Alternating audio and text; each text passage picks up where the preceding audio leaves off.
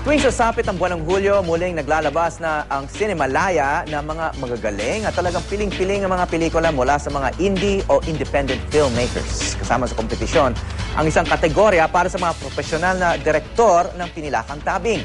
Ngayong umaga mga kasama natin ang tao sa likod ng isa raw sa mga pinakakakaibang pelikula sa taong ito. Ang Camera Obscura.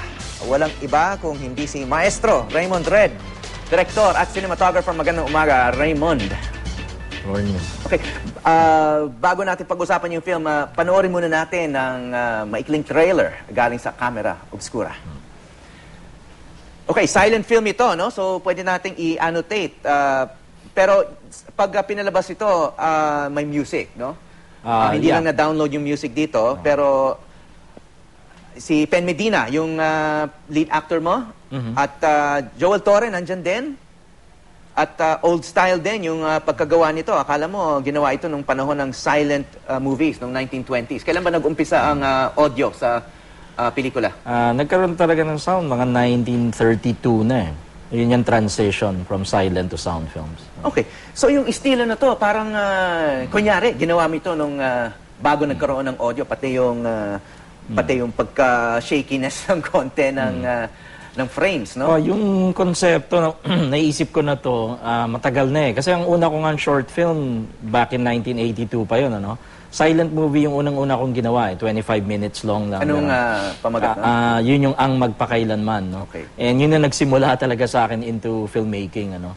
Ah, so, ano, re- mas recently, naisip kong buuin yung mga iba ko pang konsepto. It, isa tong idea na since 1990s ko pa naisip, yung camera obscura. Okay, ang camera obscura, of course, ah, ginagamit pa rin natin yung salitang camera, pero in this case, no, parang ah, yung may Latin context siya, no? Kasi salitang ah, Latin yung camera at saka yung Oo. obscura ay Latin Oo. din, ano? So, So, camera obscura, bakit camera obscura? Ah, well, y- sa title ko, ginawa kong, kumbaga sabihin nating tagalize, ano, yung spelling, ginawa kong letter K. But ang totoong pinanggalingan nun is camera with the letter C, pati do sa obscura, no, letter C yun. Ah, Latin yun for dark room, madilim na silid, no. Eh, kasi yun ang origin ng mga camera eh. Basically, ang, ang camera ay isang enclosed, madilim na kahon, no. Hanggang ngayon, ah, that holds true, yung technology. Even a cellphone. Lumiliit lang. Oo, even a cellphone, may may maliit na maliit na dark room 'yon sa likod ng lente. So it is still a camera obscura. Okay, at saka may kinalaman yan sa kwento ng pelikulang ito, ano? Oh, ginagawa ko siya syempre mas symbolic lang, no? ginamit ko yung title kasi tungkol sa dilim at liwanag eh. So parang all the uh, mga opposites ang siguro sinisimbolize ko, good and evil, powerful and uh, the oppressed, mga ganon, no? Kasi yung pinaka pelikula, ah, may sarili siyang kwento, no? But it is actually sa kabuuan a film within a film, no? So may silent movie ako, pero ayoko i-preempt yung kwento, but merong present day na nagko-connect dun sa silent movie din. Okay, ah, nabanggit mo na isang isa itong konsepto, ah, kumbaga experimental siya at tinatawag kang alternative. ah, wala kang intensyon na mag-appeal sa masa with a film like this, no? This is pure art. Ano bang what is your motive here? Um, y- yun yung laging impression siyempre sa mga sabihin na nating experimental o kakaibang pelikula, no? Pero sa akin kasi ang attitude ko sa paggawa ng films ano, ah, as an artist, ako hindi ko naniniwala sila lagi nilang sinasabi na ang ang audience nako hindi pa sila handa sa ganitong film or yung mga filmmaker, artist sinasabi yon na ay, hindi sila pag hindi naintindihan yung film nila sasabihin nila hindi handa ang ang mga manonood. Ako ang paniniwala ko laging handa ang manonood. No? Lahat ng manonood pwedeng manood ng kahit anong klaseng pelikula. And kami as filmmakers, dapat kami ang maghanda sa sarili namin, natanggapin kung paano ah, maiintindihan at paano ah, magre-react ang mga tao sa ginagawa namin. Kasi basically communication ang film eh. Nagpapadala ka ng mensahe sa audience mo.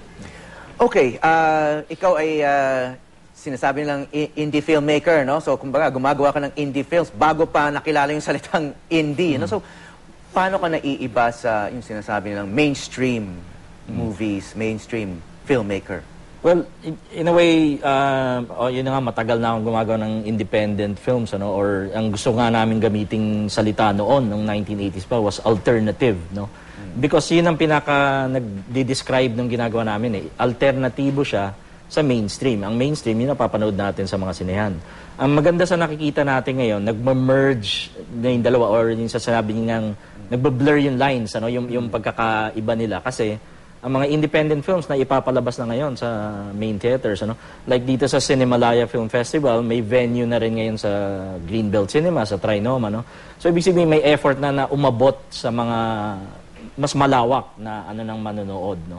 So, Tsaka alam naman natin na may parang cross-fertilization yan na may influence na rin yung Mm. indie sa mainstream. At saka, ah, malakas din yung influence ng mainstream sa indie dahil ah, yung mga artista mo nga dito, lumalabas din sa mainstream yan. Kahit sa Mm. television soaps, no? si Joel Torre ay, ay isang ah, kilalang ah, aktor. No? So, And at the same time, you're a commercial director. No? Mm. Yeah. So you're not, ah, hindi ka naman exactly ah, isang ah, rebel pagdating sa ah, filmmaking or ah, kahit ah, Yeah. commerce. I think na ang, ang kabuuan na yan, eh, dapat tawagin natin, yan yung cinema nga eh. Ah, Siyempre, ang, ang ordinaryong tao, pag sinabi mo cinema, isipin agad mainstream or sine na napapanood sa commercial theater. No?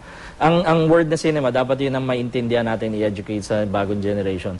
Cinema, mas nagre-refer to a cultural heritage of the art form. Eh whether it's commercial or ano lahat cinema na ngayon eh anything in ano yung motion pictures no kaya sabi nga natin kahit yung mga LED billboard sa EDSA cinema yan eh no at yung mga nakikita natin sa cellphone natin or Tsaka sa napakahaba ng iPad. ating Oh. tradisyon sa pelikula, no? At, Exactly, oh. ah, kasama na doon yung ah, silent era. Marami tayong mga silent films na ginawa bago nagkaroon ng ah, World War II Hmm. Oo, sa ating ma- bansa. Pero nawawala na ngayon. Oh, ma- Marami maaga tayong lost nagsimula eh. movies. Maaga nagsimula ang cinema sa atin, no? Sa Asia, isa tayo sa mga una talaga. Eh, ang nakakalungkot, wala tayong film preservation at restoration na na masasabing talagang very professional na. Maraming efforts ngayon, no? May mga institution tayo, may ang government ah, nagkakaroon na ng conscious efforts diyan. Marami na tayong mga uh, government agencies like Film Development uh, Council, syempre Cultural Center, matagal nang tumutulong yan, NCCA, and, and ma- many others. Ano, nagkakaroon na ng awareness na kailangan i-preserve ang heritage ng cinema. No? So, ang nakakalungkot nga, wala tayong na-preserve sa silent cinema. And somehow, yun yung naging inspiration ko sa paggawa ng film. No?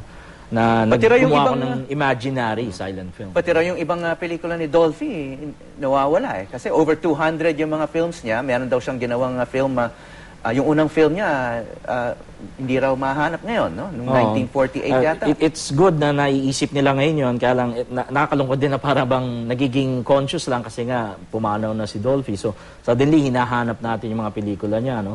Ah, isa sa pinakamagandang pagkaka-preserve na ng mga pelikula kay FPJ, FPJ. ano? Marami, Dahil siya mismo, no? Oo, siya Ah, mismo ang gumawa may ng effort, facility. no? Oo. So ako nga ah, sa ah, Films sa mo. age ko ngayon, ah, tinatry ko na i-preserve ang sarili kong films kasi walang ibang gagawa eh. No? So yung mga Super 8 films na nabanggit ko nung 1980s ko pa ginawa yon, sinimulan ko ng gu- gawa ng effort na ma-preserve. No? Dinala pa namin sa US kasi doon lang pwede. California, i- no? Nag-remaster ka Oo, doon. I-remaster Mga- yung mga Super 8. Ano?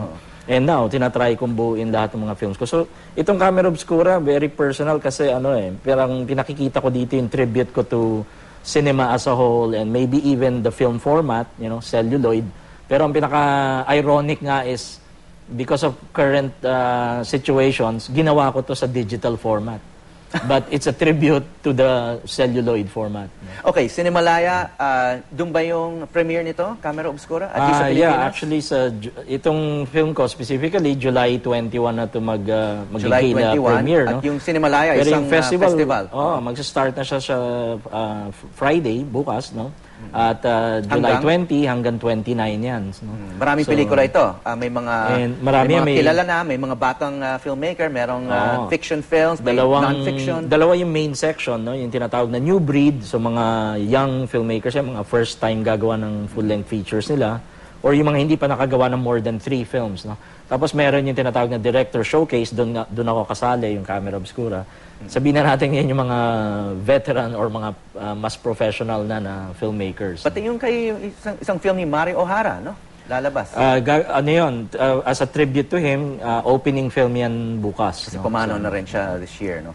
Ah, okay, ah, sa Cultural Center of the Philippines ito, tapos ah, may ibang venues ba itong ah, May mga films? magba-branch out nga, merong screening sa Greenbelt at meron din sa Trinoma. Of course, very ah, specific yung schedule niyan. So sana alamin ng mga tao yung Nasa mga... website naman ng Cinemalaya. ek- Eksaktong screenings ng bawat film na gusto nilang At sa UP panoorin. Diliman, ah, taon-taon na lumalabas din doon, no? Ah, ka- kadalasan right after nung official Cinemalaya Festival, lilipat ito sa University of the Philippines. No? And then may commercial run pa yung ibang films. Okay, congratulations. at good luck sa ah, premiere. Ah, maraming salamat, Direk Raymond Red.